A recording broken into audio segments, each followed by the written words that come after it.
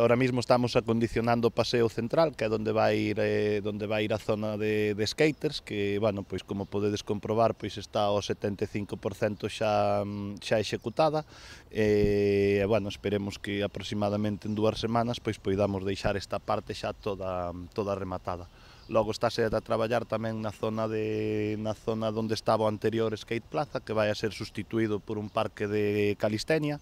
que é un parque bueno, máis vinculado a, para deporte urbano e que creemos que vai a complementar un pouquiño este, este espacio. E logo pois estáse acondicionando a práctica totalidade dos pavimentos da, da, da plaza, vale? Porque había moitísima isto un inverno pois eh, se complicaba bastante coas chuvias e bueno, nas zonas de pavimento terrizo se lle vai a meter un aripac, que é toda a zona dos paseos centrales, e logo como podedes ver nestas zonas se lle está metendo, se lle está metendo plaqueta, xa que tanto paseo central central como esta zona van ser as zonas eh, para skaters, a zona do parque infantil vai ser renovada por completo con novos elementos, e, e, eh, eh, vai ser ampliada e logo vai se crear outra zona para o, para o, eh, para a calistenia, para o corvo alto. En principio a obra ten un plazo de execución de cinco meses, nós esperamos que queden en para que quede 100% rematada, quedarán uns dous meses, estánse adicando 356.000 euros, o que van a unha inversión que entendemos que moi ambiciosa,